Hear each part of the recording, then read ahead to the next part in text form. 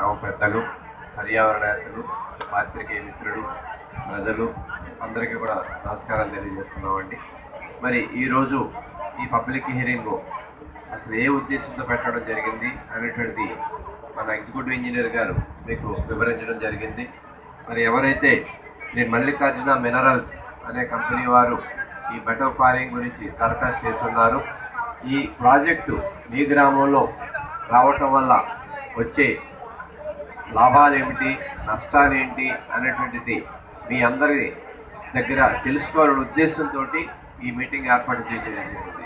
కావున ఈ మీటింగ్ ఈ ప్రాజెక్టు అసలు ఒక రావటం వల్ల వచ్చే ప్రయోజనాలు ఏంటి అనేటువంటిది లేదా నష్టాలు ఏంటి అనేటువంటిది అసలు ఈ ప్రాజెక్టు వారు లేదా గ్రామానికి మీకు ఏం చేస్తారు? లేదా ఏంటంటే అన్ని విషయాలు కూడా ఎవరైతే దరఖాస్తుదారు ఉన్నారో వారు కానీ వారి తరఫున కన్సల్టెంట్ కానీ మీకు ఎక్స్ప్లెయిన్ చేయడం జరుగుతుంది.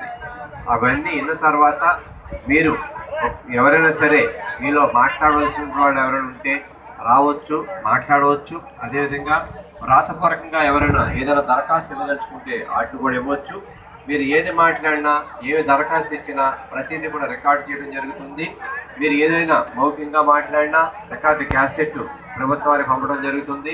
మీరు ఇచ్చిన ప్రతి కాగితాన్ని కూడా ప్రభుత్వానికి సమర్పించడం జరుగుతుంది. సో ఇవన్నీ కూడా మీరు ఇది ఒక మంచి అవకాశం ప్రభుత్వం మీకు కల్పించిన అవకాశం. ఈ అవకాశాన్ని ఉపయోగించుకోండి. సో కాబట్టి మీకున్న సందేహాలు కానీ అపోహలు కానీ ఏదైనా ఉన్నట్లయితే ఇది మంచి సమయం. మీరు అడగండి. నిర్భయంగా మీరు అడగండి. మీకు నమ్మాలు నన్నాలు ఉన్నట్లయితే అడిగితే దానికి సమాధానం చెప్తారు. ఆ రకంగా మీరు సంతృప్తి పడవచ్చు లేదా మీరు ఏదైనా దరఖాస్తు ఇవ్వచ్చు లేదా మాట్లాడవచ్చు తప్పలేదు.